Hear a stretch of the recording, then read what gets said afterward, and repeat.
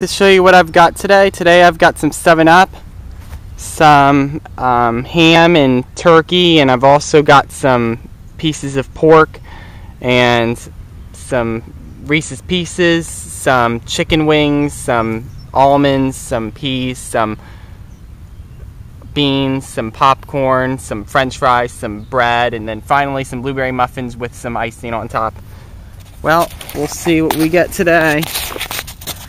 By the way, yesterday after the recording stopped, I saw a crow standing right here, right here where I'm standing, next to this tree here, and it was just standing here in the shade. You know, it's kind of right there, and then it's shady here. Well, the sun kind of, it was higher up in the sky, so the food was over there. So I decided to put it over here this time. And they seem to not like it when standing in the heat, so they let the other birds eat. And then, as soon as the starling took off with uh, a piece, it chased it.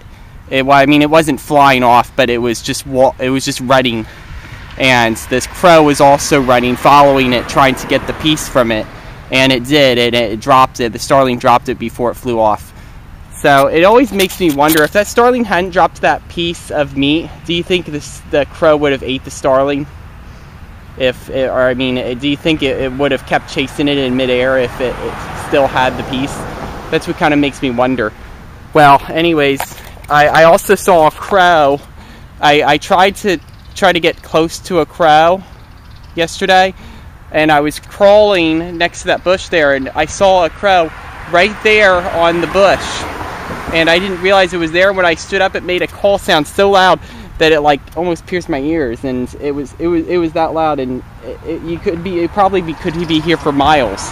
That alarm call, and as soon as they made that alarm call, all the five crows that were that were there took off, and there were there was also another one on the telephone wire. Might be possible that the crows that were eating the food at the time were the babies, and those were the parents. That's my guess. Anyways, I'll just leave it at that and we'll see what we get today.